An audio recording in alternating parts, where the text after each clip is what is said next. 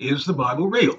The Bible records prophecies of things that were to happen in the future. Foretelling specific events centuries before they happen with 100% accuracy is something only an all knowing God can accomplish. Prophecy and fulfillment is how God authenticated his word. How else would Isaiah know that Jesus would be born of a virgin 700 years ahead of time? How else could Zechariah know that Jesus would ride into Jerusalem on a donkey 500 years before it happened? How else could King David know that anyone would cast lots for Jesus' clothing at his crucifixion a thousand years later. How else could Micah know Jesus would be born in Bethlehem 800 years before his birth? There are over 400 prophecies of certain details of and events in Jesus' life. Every single one of them has come true with meticulous precision, with the only exceptions being the prophecies regarding his next coming.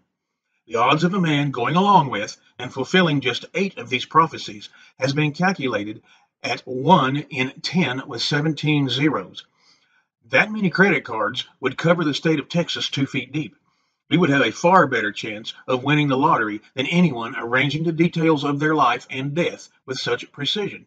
The odds of all 400 of them coming true has been calculated at 1 in 10 with 157 zeros behind it. Take every Old Testament writer, separated by centuries of time and geography, blindfold them, and tell each of them to fire a single arrow at a target they cannot see, and have every one of those arrows hit the bullseye at the same time in the same place for a man that had to agree to arrange all of these details, which in the end were going to result in his torture and death. Two takeaways from this are one, the odds of the Bible being wrong is 1 in 10 with 150 zeros behind it.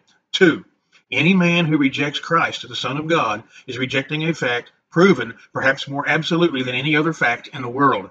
The fulfilled prophecies contained within the Bible could not exist without divine intervention. It is a divinely inspired, self authenticating word of God. You can bet your life on that.